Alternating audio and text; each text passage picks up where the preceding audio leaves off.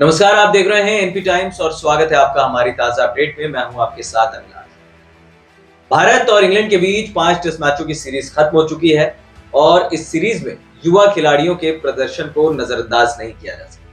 लगातार अपडेट हम आप तक पहुंचाते जा रहे हैं।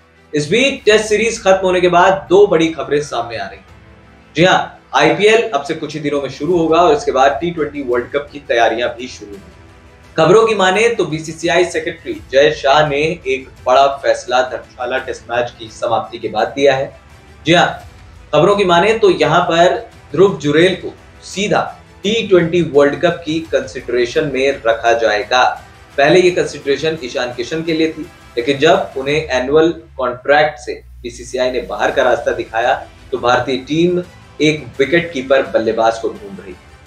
ध्रुव जुरेल ने अपनी क्षमता का बेहतर प्रदर्शन दिखाया है और लंबे लंबे छक्के मारने में भी वो माहिर साथ ही उनकी विकेट कीपिंग स्किल की भी काफ़ी तारीफ़ हो रही है।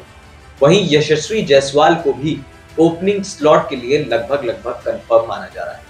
यशस्वी जायसवाल ने बीते एक डेढ़ सालों में ज़बरदस्त परफॉर्मेंस दी है, चाहे वो टी ट्वेंटी फॉर्मेट हो आईपीएल हो या फिर टेस्ट फॉर्मेट ऐसे में यशस्वी जायसवाल को भी सीधा टी ट्वेंटी वर्ल्ड कप का टिकट दिया जा सकता है। बड़ी बात यह है कि बीसीसीआई को फ़िलहाल वर्ल्ड कप की टीम चुनने के लिए अभी फ़िलहाल डेढ़ महीने का समय है, लेकिन आईपीएल के बिना पर बीसीसीआई ने साफ़ कर दिया है कि वो किसी खिलाड़ी को नहीं चुनेंगे जिन्हें उन्होंने पूल में नहीं रखा जो खिलाड़ी पूल में है, अगर उन खिलाड़ियों में से किसी का प्रदर्शन अच्छा होता है तो वो टी ट्वेंटी वर्ल्ड कप की टिकट पाने के हकदार हो जाएँगे।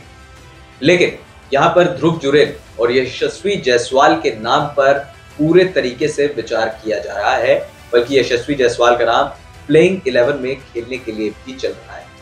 ऐसे में चयनकर्ता किस तरीके से इन खिलाड़ियों को रिवॉर्ड करेंगे, ये देखने वाली बात होगी, लेकिन इस सीरीज़ से कई ऐसे खिलाड़ियों को सीख मिली है जो खुद को गेम से बड़ा समझने लगे।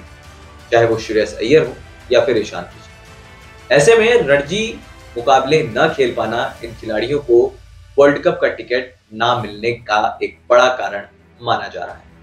लेकिन ध्रुव जुरेल और यशस्वी जायसवाल के लिए ये एक शानदार मौका बनकर सामने आया है।